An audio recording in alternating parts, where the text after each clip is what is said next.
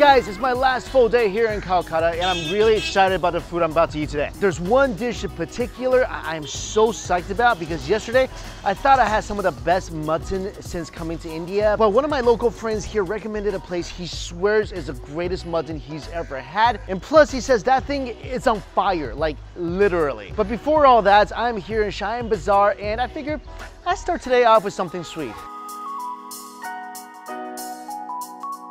Hey guys, so this is my, my friend Hello. Sagor, and he's gonna be showing me around today. And you said we're gonna start off with some sweets. Yeah. What are we eating? So there are multiple kind of sweets here, Uh-huh. and uh, you know, one of the best ones are chocolate ones, and there are also some flavored ones. So this is one of the oldest places from where uh, the sweet is exported to all over India. Oh, it's exported all over India. Even the Bollywood stars order their sweets for Really? their the programs from here. Oh, really? Yeah. That was really So- famous, huh? Okay, well, you know what to get? So let's try something. So, so we got a box of sweets here. What did we get? Okay, this is the uh, rose water flavored sweet. This is soft and this is uh, pure milk, And sugar. Okay. Pistachio, and this is from saffron. saffron. Yeah, and this one is uh, really popular. This is in the shape of palm fruit. So let's let's try some of these. Um, this kind of looks like a crown. I should be wearing this instead of eating this. Oh, wow. Oh, oh, whoa, whoa, whoa. This is like really syrupy, Yeah. like really thin syrup. And this is made of the sugar from dates. That's really sweet. Well, that woke me up. I feel like I need like a like a big jug of tea to eat this with. Um, so this is really interesting. This is really really gentle. Whoa, this is awesome. This is my favorite one too. This is awesome. It, it's just like it just breaks apart in your mouth. It just crumples everywhere. What I like is that it's not dry. It's rose water infused throughout this dessert, but it's very moist. There's almost like rose water just, just gathered in the bottom of this thing. So this is the milk skin, look at that. So the milk skin is pretty dense. So this, this one was a little harder to break apart. I really like that one. The milk skin just gives it a nice, slightly little more dense chew.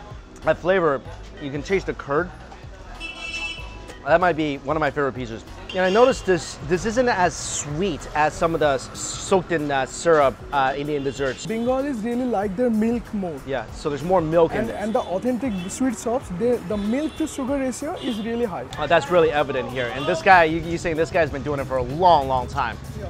And yeah, guys, try come and try this place out. Like this is fantastic. Now that we ate sweets in the morning, which you know what, who says you can't have dessert for breakfast? Where are we going after this? Let's some eat some uh, big lunch. Okay. We're gonna have a big lunch. Yeah. You said a couple of the words I love: big and lunch.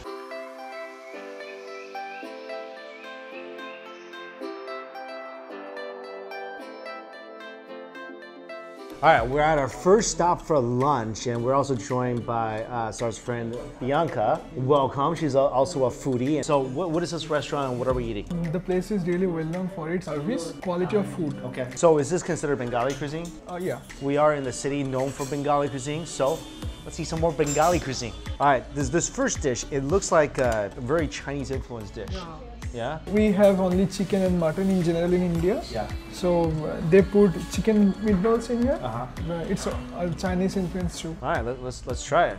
I'm excited. Mmm, Yeah. that's great. There is spice too. Oh my gosh.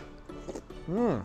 It's a little sour and it's really spicy. This chicken soup's got a lot of personality. I love anything with a sour and spicy profile. I feel like food in India, there's it's always gonna be pretty heavily flavored. I mean, I might be more on board with your Chinese food because like, man, you, you guys really laid the spice everywhere and that that's how I like to roll. I also feel like this is something that is really different than what I've been eating texture-wise and everything else last few days. Ooh, bring on the fire. I mean, bring on more fire. Is this Indian Chinese food as well? Yeah. That's so because it kind of resembles like a sweet and sour chicken or like a cashew chicken. So we get a piece of the fish. So these are like fish medallions almost. Um, what kind of fish is this again? Bhetki. A lot of muscle in the fish. No, I can't wait to try this fire chicken. Whew, mouth is still on fire while eating the fire chicken. Does that make it doubly fiery? I might be able to breathe fire after this. A little sweet. Oh wow, this would be fantastic with rice. It's got tons of flavor, sweet, very spicy. That's like the common theme of, uh, of a lot of the foods I had today. Like even, even if it's sweet, even if it's whatever, it's always gonna be really spicy. Like the flavor is much heavier than if it was cooked by a Chinese restaurant. Garlic, cashews, scallions, really, really nice. Feel the burn, my friend. Yeah. Feel the burn. Bianca, you burn it? Yeah. At, when I first tasted it, I feel like it's very sweet. Yeah. After just it, it just hit me. How's your How's your spice tolerance? Very less. No. I don't like spicy food at You don't like spicy food? Oh my gosh. No, let's try this fish. I have the chutney right here. Whoa, this is fish? You're not kidding when you're talking about a muscular fish. Look at this. 10 out of 10 times I would have said this is chicken. no, this is fish. But when you chew it, it will be soft. Look at this thing. You know, there's a US commercial that says that's, that's with Fabio. It says, I can't believe it's not butter. I can't believe it's not chicken. Check this out. Oh, okay. Once you bite it, you know it's fish. Mm-hmm. Yeah, it looks like chicken, but the taste is distinctively fish. Very tender, very crispy on the outside. Soup is good. This dish is fantastic. I mean, this fish is so such a clean flavor to it, right? So I don't know about StarKist, whatever, but this is really chicken of the sea or chicken of the river. This is awesome. Man, look at that. Hey, I, I think this is a pretty fitting drink for me. Mm. So Nice and smooth, nice and fruity. I like the color. I'm gonna keep this little umbrella, I think. All right, so mutton is here. Better be good, man. You got my hopes up. All right, so uh, first of all, let me just taste this on its own. Oh, this is like like saturated with meat. Oh, look at this piece. This has tons of fat. I love pieces of meat with tons of fat. Mutton day to me. Here we go. This is like a mutton taco. Right here, here.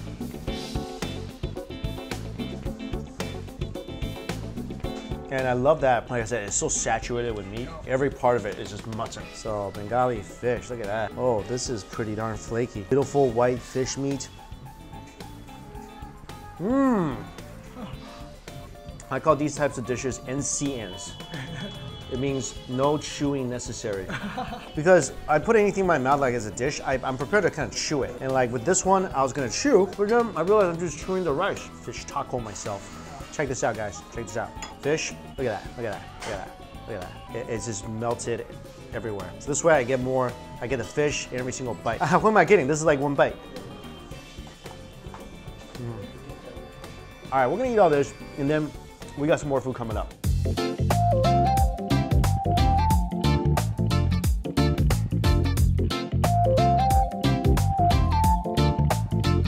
All right, after that great meal, we're you here for ice cream? yeah, they make their authentic things from the fruits. Yeah? Real fruits Yeah? in front of you. Let's do it. Let's do it. That's also mine. Here.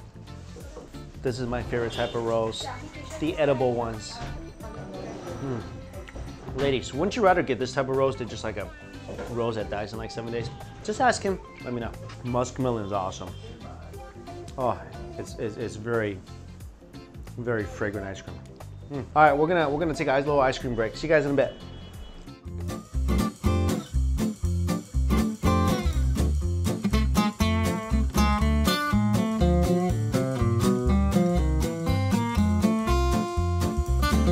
All right, guys, we are at lunch number two. You like lunch number two? It's much better than lunch number one. Bring on the tribal food. So this is chicken cooked inside the banana leaf. And it's just, the banana leaves really used as an oven here. And it, look at how charred this is. It contains all the It's all sweaty on the outside, like it just went for a run. Oh my gosh, look at this. You smell that already from your end? Yeah, it's already smelling really incredible, right? Look at this. This is uh, chicken, tribal spices, and I see some, definitely see a lot of, oh, look at, this whole thing was on fire. I got it, I got it. He's, he's afraid I'm gonna burn myself, which I might. Look at this. Whoa, I never seen something so cool in my life. It's not like the bamboo is wrapped in something. It's like the bamboo is lit, and this thing is still crackling. Yeah. It's still lit. Oh, can I open it? Yeah? He, he's, I gotta give it to the professional. Whoa, look at that. Oh, nice. Look at this. Yo, that smells so good.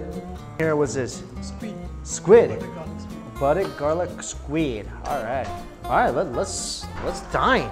All right, tribal cuisine. Nice. I'm gonna go for the squid first, and it's like some chunks of green onions in here, just covered in garlic. Oh, isn't this one of the most glorious things ever? Wow. Wow. It's nice and bouncy. I'm really digging the spring onions here. This thing, it's just slightly garlicky. It's more sweet than anything else. This is a fantastic dish. I love the gravy. I'm loving, I'm loving all the garlic that's on the outside. This, this is fantastic. I think this would be great over rice as well. It's not as heavy-handed flavored as, as um, a lot of the cuisines we have so far, but it's perfect. All right, I'm gonna try this banana leaf thing.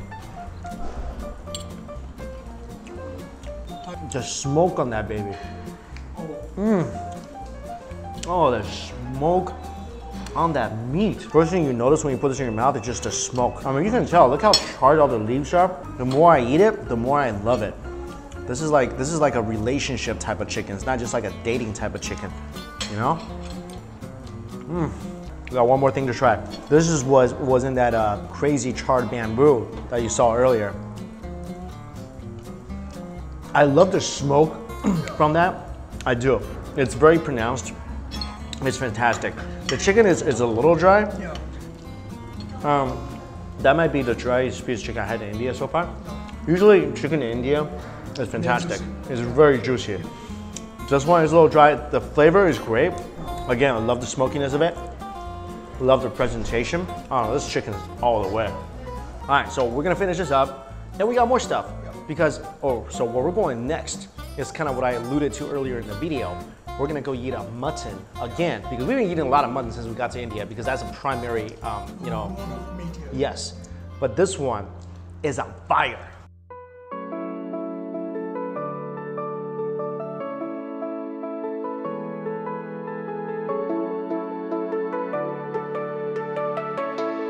I was told it was on fire. Not, not really. No, It it would- will it will be served with fire. But there, there's fire going on, so it's still pretty cool. But let's start. I can't wait to get to that because that looks like it's just a monster dish. So there are shreds of chicken, big chunks of chicken Uh-huh. with a spicy sauce, a spicy gravy, and Afghan spices. Grab some naan. Oh, it's butter. Beautiful. Let's do it. Mm-hmm. What? This is the best chicken I've had in a long time. Wow. Awesome chicken fist bump. There you go. There you go. This is such a juicy piece of chicken, right? The sauce is a little tomatoey. I feel like the, the tomato flavor in this dish is probably the most um, pronounced of all any dishes I've had so far in India. It's a little sweet, slight little bit of tart flavor. Absolutely fantastic. I thought initially that this dish wouldn't really be able to hold a candle to this dish. So I figured we eat this first, but that's so good. Well, let's try it. So again, my friend yesterday told me that this is the best mutton he's ever had in his life. Let me know if that's true.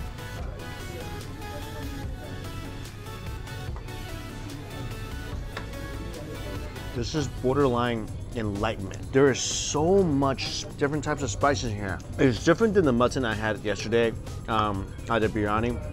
That one was just really tender, succulent, juicy. This is more just, I feel like this is more about the spices utilized here. How good do you think this is? Um, I'd not uh, say that this is the best mutton I've had, Mm-hmm. but maybe um, uh, top five mutton. I'll Top five. take it in the top five list. All right, Bianca, what do you think? For me, the same thing. This is not for me also the best, Uh huh. but it's good.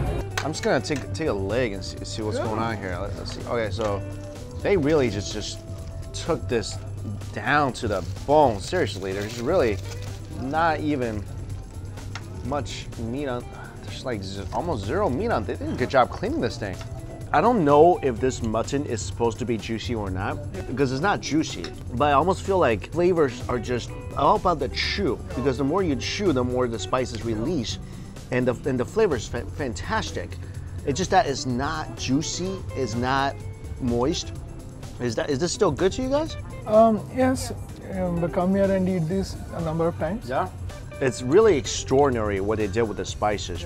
Like I said again, this spice is the star here. And the mutton is good, but the way they manipulated the spices to just extract this type of flavor is pretty phenomenal. Bianca, what was the best thing you had today? What do you think? Um, chicken. The chicken. This chicken right here. I, This chicken is the best meal uh, of the day, I think. you think so as well? This chicken? This chicken is ridiculous. Like, it's absolutely just crazy, ridiculously juicy and delicious. I mean, I feel like tomato is not something you see like plump slices of tomato. I know they exist because the, the a lot of the curries in, in the gravy is based on tomato, but just leaving chunks of plump tomatoes in there makes such a huge difference. And you guys, this has like been an awesome day. Thank you so much for showing me around town. And uh, you know, we had some good foods together, and uh, even better company. So that was like, you know, that's that's what good meals are based off of. Like, it's, it's just insane how crazy good the food is here. But man, let's. So we're gonna finish this meal. And again, thank you guys so much for being on the show and uh, showing me around and, and, getting all this great food together. And thank you guys so much for watching. Like always, all the uh, places we went to is located for you in my description box below. So until we all eat again, see you later. Bye. Bye.